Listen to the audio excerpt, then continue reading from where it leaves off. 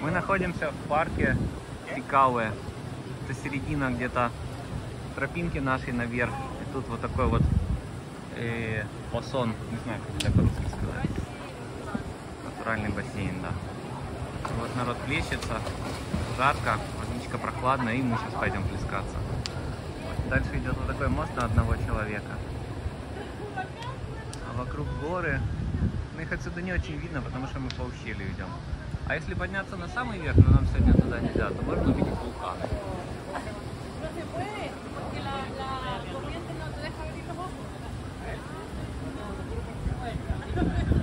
Все это происходит в регионе Маули, рядом с рекой Маули и рядом с городом, ни с каким городом не рядом. Час вверх. Час ехать до Тальки, да.